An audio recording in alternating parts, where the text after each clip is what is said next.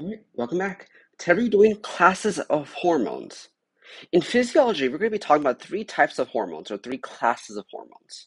There are steroid hormones, peptide hormones, and amine hormones. We're going to be doing steroid hormones first. There are two types of steroid hormones. There are corticosteroids and sex steroids. Corticosteroids are made in the adrenal cortex or your adrenal glands. That's how the name comes from the cortex, in adrenal cortex, and cortical. It's kind of the same thing, same name.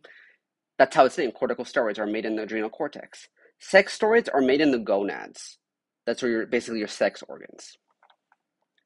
Some common ones are testosterone, aldosterone, progesterone, and estradiol. Estradiol is not estrogen. They're two different things.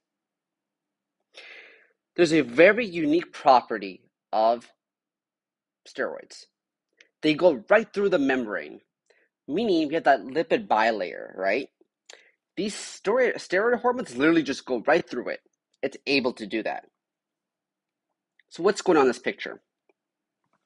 So you have this blue steroid looking pentagon. That's what I drew. It's pretend it's a steroid hormone. Steroid hormone. It's going to go through the lipid bilayer. It just can go diffuse right through. It does not need any receptor of any type, no channel, nothing like that. It can literally just go straight through. However, it has a barrier. It, it needs to get to the nucleus. That's its end goal. Try to get to the nucleus. There are receptors for steroid hormones in the cytoplasm. They're literally just receptors waiting there, just for steroid hormones.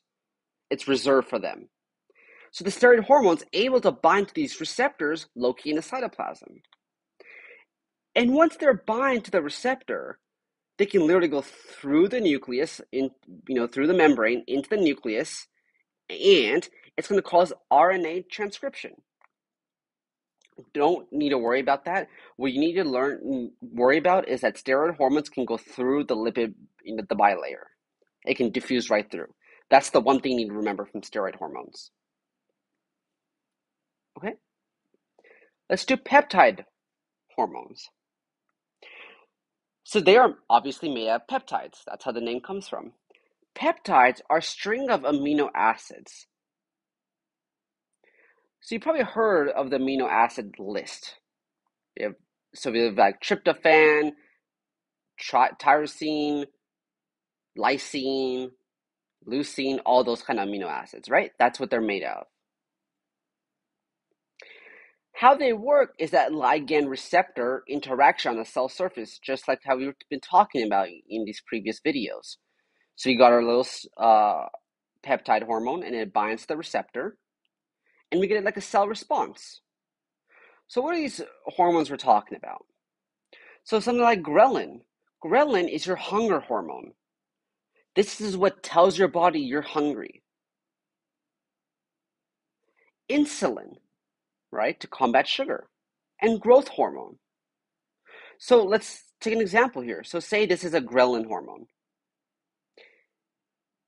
And it binds to the receptor, and now we get hungry. That's our cell response. We're hungry now. That's how that works. Pretty simple. Now we've got amines, or amine hormones. So this is the amine functional group. This is the tertiary amine. If you ever take an organic chemistry, you'll know that the R groups can be literally anything except hydrogen. Or, yeah. So there's first degree amines, second degree amines, third degree amines. So all you really know is that it has a nitrogen center atom and th- one, two, or three R groups. That's how they're that's how they're named. Is that they have this, and that's amine hormones have this in their structure.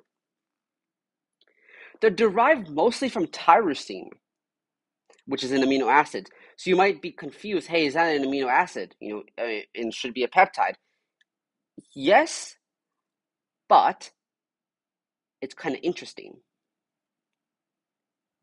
We have two types of amines, hormones.